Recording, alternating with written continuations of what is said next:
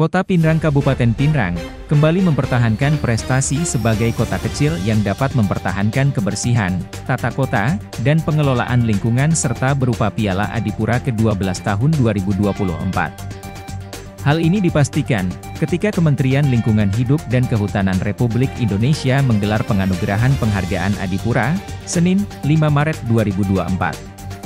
Kegiatan yang digelar di Auditorium Dr. Sujarwo Gedung Manggalawana Bakti Jakarta Pusat ini, dihadiri langsung oleh Wakil Presiden Republik Indonesia, Kiai Haji Maruf Amin, Menteri Lingkungan Hidup dan Kehutanan, Siti Nurbaya Bakar, dan seluruh pemerintah daerah yang berhasil meraih penghargaan ini. Menteri LHK Republik Indonesia, Siti Nurbaya Bakar dalam laporannya mengungkapkan bahwa, Adipura merupakan agenda nasional, instrumen kebijakan dan program yang telah dilaksanakan sejak tahun 1986.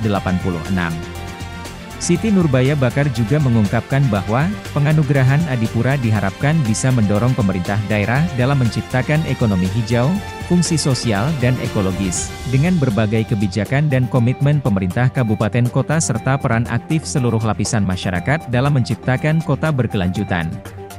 Sementara itu dalam sambutannya, Wapres Kiai Haji Maruf Amin mengungkapkan bahwa, penganugerahan Adipura merupakan salah satu upaya untuk mewujudkan peningkatan kualitas lingkungan hidup yang berkelanjutan di Indonesia. Dirinya juga berharap, program penganugerahan Adipura ini dapat diperkaya dengan ragam inovasi, sehingga mampu menyesuaikan dengan dinamika zaman dan arah kebijakan pemerintah.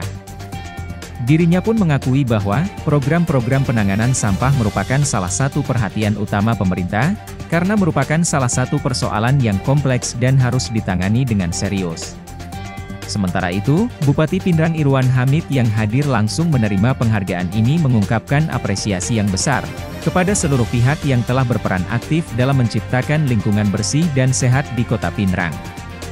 Bupati Irwan juga mengungkapkan terima kasih, kepada para tenaga kebersihan yang tanpa mengenal lelah terus bekerja dan berupaya menciptakan kota Pinrang yang bersih dan asri. Selain itu, peran aktif masyarakat Kabupaten Pinrang dalam menjaga lingkungannya, juga mendapat apresiasi dari Bupati Irwan. Dirinya pun berharap, upaya menjaga lingkungan tetap menjadi kebiasaan baik yang senantiasa harus ditingkatkan dari waktu ke waktu.